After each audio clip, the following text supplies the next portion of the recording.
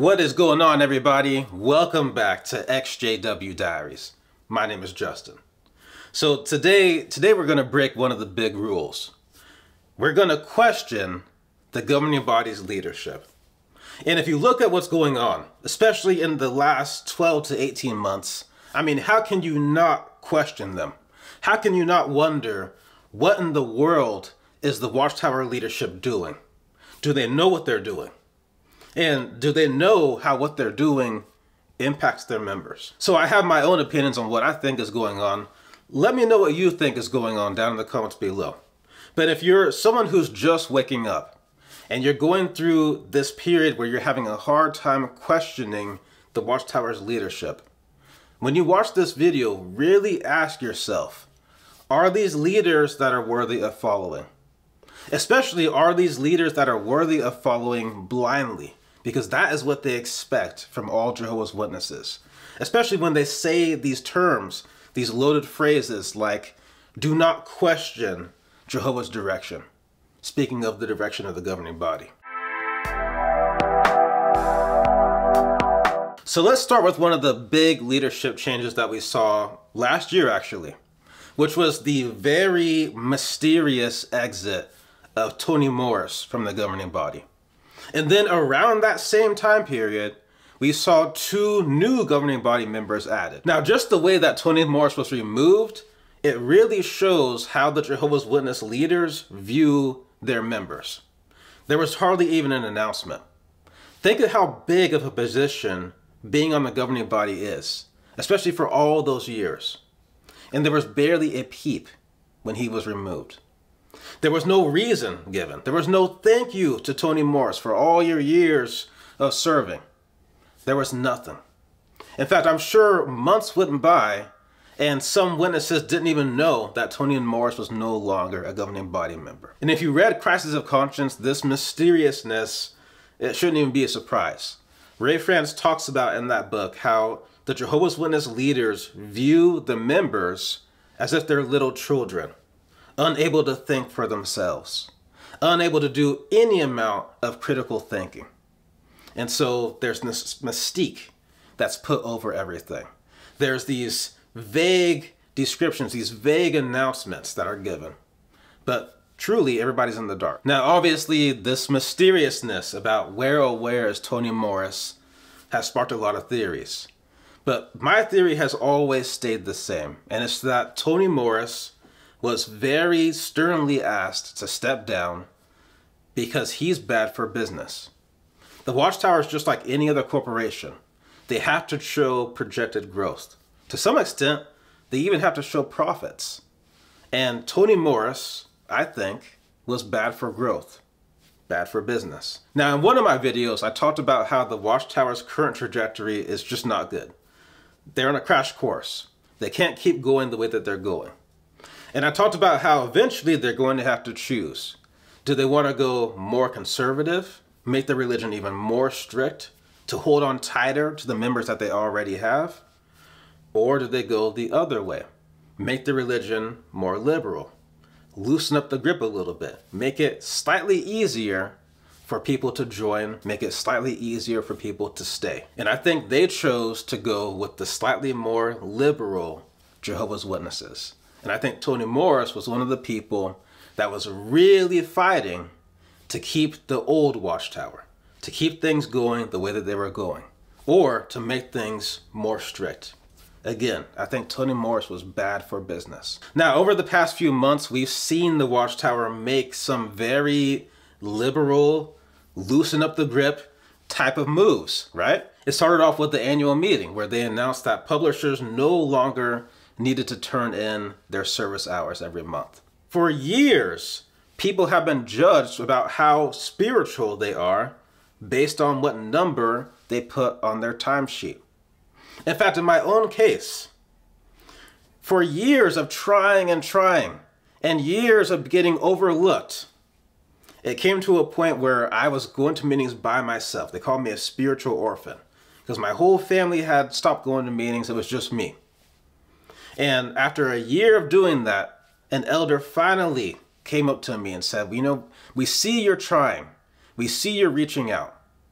What do you think about becoming a ministerial servant? I said, Yes, yes, please. So then a couple months go by, and I'm out in service with another elder, and that other elder talks to me about becoming a ministerial servant. And he says to me, he says, you know, it would be easier to recommend you if you kept your hours at around 10 hours every month.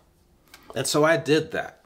I kept my hours at 10 hours or more every single month. And before I knew it, I got a text message from one of the elders saying that the circuit overseer wants to meet with me. And during that meeting, I was appointed a ministerial servant. All because of some hours on a sheet. So they've made such a big deal about this hourly requirement only to just throw it away like it never mattered. Now, if you're going through the process of waking up, you should be questioning that. You should be asking yourself, why was I straining for all these years? Why was I judged for all these years? Why was I pestered by elders? Where's your service time? Where's your service time for all these years? For something that was thrown away like it never even mattered. Another liberal change that we've seen is the relaxing of the way that they view college, higher education. A letter was sent to all elders and it leaked out, got into the community, and here's what it says. While the faithful slave has long provided loving counsel on the dangers of pursuing higher education, it should be noted that following such a course is not outlawed in the Christian congregation. Therefore, it is not necessary or wise for elders to create rigid rules on such matters, especially as the faithful slave has not done so. Now, let's just stop right here because they are lying. They're lying right here. If you've been a witness for any good amount of time, you know this is a lie. The governing body has promoted in many, many ways not to pursue higher education. Every single year during the assemblies, they're putting up people as demonstrations. Kids who have refused a scholarship so that they can pursue uh, full-time work in Jehovah's service. And they're put up as examples for other youth to follow. Every year there are multiple articles. There are demonstrations in the JW broadcast videos. There are talks. The list goes on. Every single year, multiple times a year, they are telling young people to not pursue higher education, right from the leadership. And here they're saying, oh, we never said that. Straight up gaslighting. So then the letter continues. Rather, elders should be guided by scriptural principles and assess each case on its own merits. The Shepherd Book, chapter 8, paragraph 30, helps us in this regard by posing a number of questions for elders to consider. Having considered such questions, if a brother who is pursuing higher education satisfies the scriptural requirements for an appointed man in every other respects, there is no reason why he cannot serve as an elder or a ministerial servant. And so here they're saying this, after all of these years of them saying that you cannot even be appointed a pioneer if you were enrolled in a university. There were elders who were removed from their position because their child wanted to go to a university. So it'll definitely be interesting to see how this gets uh, enforced at the congregation level. But for any Jehovah's Witnesses out there, apparently your governing body leaders are telling you that they never cared about higher education, that that was all you. Here we go back to 1975 all over again. But let's continue because just recently there was another change, this time around something that is very natural beards. Men having beards. For years, Jehovah's Witness men have had to be clean shaven, especially if they want to serve in any, any way. You had to be clean shaven. In fact, it was such a big rule that in my congregation, and I know many other congregations that had this same rule, if on a Sunday meeting you had a visiting brother, you also had to have at least a couple other ministerial servants or elders within your own congregation who had talks ready to go. That way, if the brother from another congregation shows up and he was unshaved, he would be refused access to the stage, and one of the brothers from the local congregation would go up and give one of their outlines instead. And the other brother would be sent back home. That's how serious it was. And yet now, Here's what they're saying. Governing body has asked me to read the following announcement. A number of branch offices around the world have written to us indicating that there continue to be questions about whether or not it is proper for a brother in an appointed position to wear a beard. After prayerful consideration, the governing body has concluded that there is a need to clarify this matter. The governing body does not have an issue with brothers wearing beards. Why not? Because the scriptures do not condemn the wearing of beards. Furthermore, as time has passed, we have noted that in many lands it is acceptable for men who hold responsible positions in business and government to wear beards. Thus, whether a brother wears a beard is a personal decision. A brother's qualifications to serve as an elder or ministerial servant are based on his spirituality, not on whether he chooses to wear a beard. This direction also applies to special full time servants at Bethel and those in the field, including special pioneers, missionaries, and circuit overseers. In harmony with Romans 14:4, neither the elders nor any other Christian should feel compelled to judge a brother who chooses to wear a beard. So, just like with college, just like with the hourly requirement, the beard situation has been thrown away as if it never mattered because really, it didn't ever matter. Really, all of these things were never in the Bible in the first place. And yet, all of these things were heavily enforced by the Watchtower leaders. The very same leaders who right now are saying, it doesn't matter. You know, if you went back even just six months ago, if you were a brother who had a beard, who was attending university, and who wasn't really turning in very many hours every month, you were considered bad association. There was no way you would even think of asking to be appointed a ministerial servant or an elder. Fast forward to today, that very same person is now acceptable for a position. So, on one hand, this just shows the gaslighting that's coming from the Jehovah's Witness leaders. Again, just like 1975. They're saying all these things, they put all these things on their members, and when it comes back on them, they say, well, that wasn't us, that was you guys. That was you. You know, when you look up the top qualities that every good leader should have, one of the things that you will see most often on those lists is empathy. But in these changes, there is no empathy. There is no empathy from the Watchtower leaders. Again, for all those years that they held it over people's heads to turn in massive amounts of hours in order to be recognized, in order to be recommended for a position. After all those years of telling men that they must be shaved, regardless of what the culture is, this is the Jehovah's Witness culture. And the Jehovah's Witness culture says you must be shaved. And regardless of all the years that they have discouraged higher education, there is no sorry, there is no thank you. There's just these things never mattered in the first place. And we see in this exact same attitude when it comes to health matters this lack of empathy. Back in the day, it was considered cannibalism, it was strictly forbidden to get an organ transplant. Later on, same as these situations. It doesn't matter. It's a personal choice. Now, in the time between them saying it's forbidden and them all of a sudden realizing that's a personal choice, in that gap of time there, real people died. Real, actual people died. Same thing with the blood. Before, they were saying all blood is forbidden. Later on, they said, well, blood fractions are okay, personal choice. Again, in that time frame, somebody's life could have been saved by one of those blood fractions. But in that time frame, it was forbidden. No empathy for those people.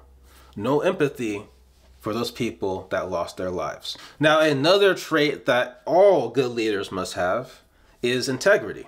Integrity means that regardless of who's watching, regardless of if there's an audience or not, you're going to keep going in the same direction. You're going to make the same decisions.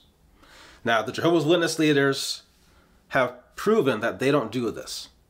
In fact, I saw this myself during the time I was waking up when the Australian Royal Commission was going on, and they brought Geoffrey Jackson to the stand. And they basically asked him, Is it true that you guys believe you are the one and only true religion that speaks for God?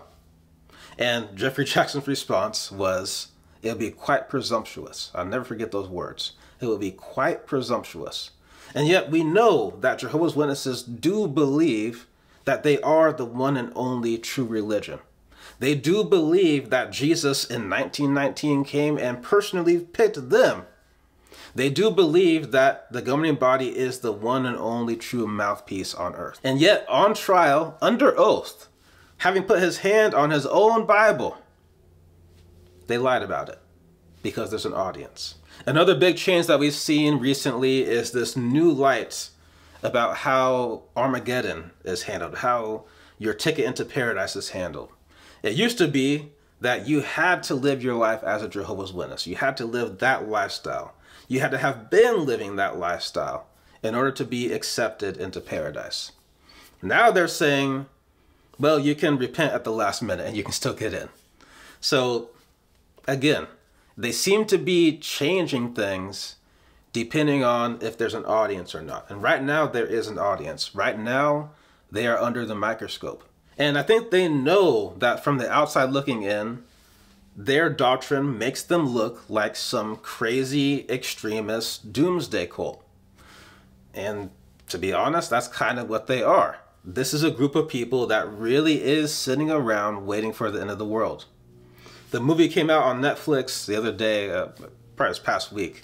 Uh, Leave the World Behind. That's what it's called. Leave the World Behind. I kind of liked it actually. I tell you what, that movie is like a dream come true for Jehovah's Witnesses. They want that to happen. So I think what has happened already and what will continue happening is the Watchtower will continue to relax some things, continue to make these changes to make themselves look less and less extremist. Now, the really scary thing for the Watchtower leaders right now is that they're not only being watched from the outside, they're being watched from the inside. And this is kind of their own fault. You know, back when I was first joining the Jehovah's Witnesses, you didn't really know who the governing body members were. They were this kind of mystique group of people off in New York who made the decisions. But nowadays, the governing body is very, very public. Nowadays, they're almost treated like celebrities. People go to Bethel and they want their Bibles autographed by the governing body. J- just think about that for a second. The Bible says, serve God, not man. And yet you have Jehovah's Witnesses who are going to the headquarters and wanting their Bible signed by governing body members. But anyway, on Rick Fearon's show, Six Screens, he talked about last week how he heard from a Soka overseer who was saying to the congregation that he's noticed that everybody's burned out. In multiple congregations, Jehovah's Witnesses are burned out. And when people get burned out, what happens? A lot of them start questioning, well, why am I doing this in the first place? Now, another big factor of this is, of course, the pandemic. If you were a Jehovah's Witness, a faithful Jehovah's Witness, and you saw the events of 2020, you probably thought that was the beginning of Armageddon. You've been waiting for this your whole life. Now, fast forward to 2023. I mean, some people say it's back to normal. I don't think things are ever going to be quite the same, but for sure, we've moved forward. And for a Jehovah's Witness, that can be really confusing. Now, if you're still waking up, you need to ask yourself do you want to follow leaders that will change their course depending on who's watching. Now, another quality that every good leader should have is to lead by example, not by intimidation.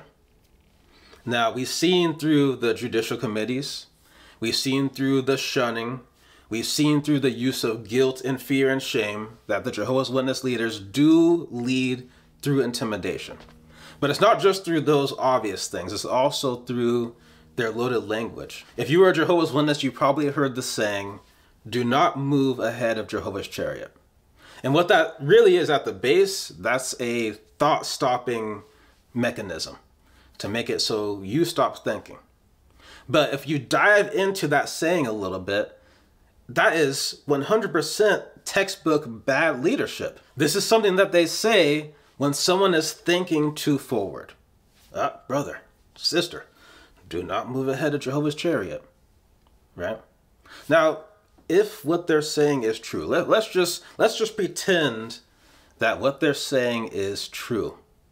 If that were the case, then we're talking about Jehovah here. We're talking about the God of universe, a very advanced spiritual being that exists outside of time, outside of space, outside of matter. It would be impossible for you, no matter how smart you are, it would be impossible for you to move ahead of Jehovah's chariot. Impossible. So, on a grounded level, what are they really saying when they say those type of words? What they're actually saying in plain English is, you slow down so that I can lead. That's what they're saying. You slow down so that I can lead. Again, textbook bad leadership. This is leadership through intimidation, not by example. So again, the question was, what are the Watchtower leaders doing? And if you ask me, I think number one, they're in reactive mode. They are trying to avoid having a spillage of all their members leaving at once. The mass exodus that many of us on the EXJW side have been saying, you know, eventually that's going to happen. And I think they're going to do it to themselves with these kind of changes, with this lack of empathy, this lack of integrity, and this leading through intimidation. So with that, I want to thank you so much for watching. Thank you for your time. Again, let us know, what do you think the Watchtower leaders are doing? Why are they making all of these big changes all of a sudden, one right after the other, and making changes for things that just six months ago were a very, very big deal? And now they've been thrown away like they're nothing. Again, if you are someone who's just waking up, ask yourself, is, is this the type of leadership that is worthy of being followed? Is this the type of leadership that's worthy of being blindly followed? Leaders who have no empathy, no integrity, and who lead by intimidation.